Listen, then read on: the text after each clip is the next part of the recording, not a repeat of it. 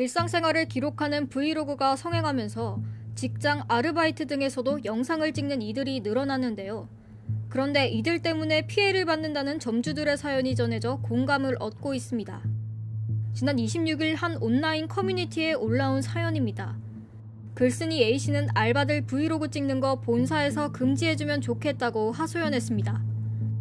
A씨에 따르면 한 여자 알바생은 일을 하면서 브이로그를 찍었고 그런 알바생에게 매니저는 찍지 말라고 경고했는데요. 그러나 알바는 꿋꿋이 촬영을 이어나갔습니다. 프랜차이즈 본사 측에서 브이로그 등 촬영에 관한 제한은 따로 두지 않았다는 이유에서입니다.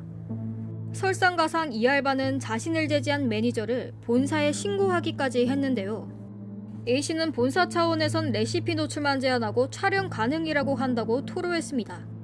문제는 브이로그를 촬영하며 이를 소홀히 한다는 것입니다.